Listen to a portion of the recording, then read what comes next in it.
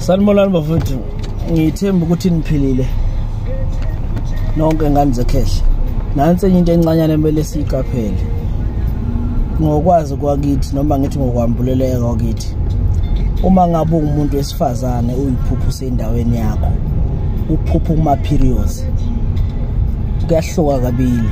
Yinto emele siyiqaphele leyo kuhluka kanjani na uma ngabe uyiphupho kuma-periods? Number one kuyenzeka kube yisichitho.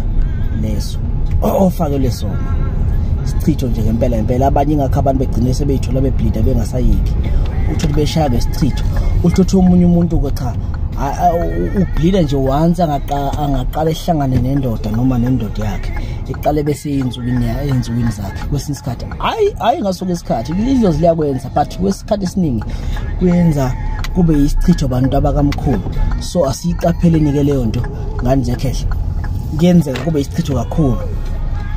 So bantu abamkhulu asivule namehlo. Number two ukuyiphupha ukuma-periods kuyaba ngenye yama-signs asuke ekukhombisa ukuthi wena mhlampe usuke wachithekelwa ngumntwana usuke wachithekelwa isisu miscarriage leyo. So kuba ezinye zeyimpawu eziyaye zikhombe lokho. Yingakho ngihlale ngithi kubalulekile ukuthi uma umuntu into uma ungayiqondisisi ungasayitholanga impendulo yayo wayiqondisisi hamba uye kumelaphi. Hamba kumuntu ohlolayo uzokuhlolela ekutshela ukuthi kusho ukuthini lokho. Because wena uzoyitsheda isichitho kanti awunasichitho wachithekelwa ngumntwana nje kuphela. Sisu awukhulela mhlawumbe ungazi. Phela isisu siyachitheka noma thiwa mhlawumbe une-hour mhlawumbe una-three hours ukhulelwe. Uma ngake kuke nje sachitheka sekufana nokuthi sengumntwana loyo bantu abekhehle.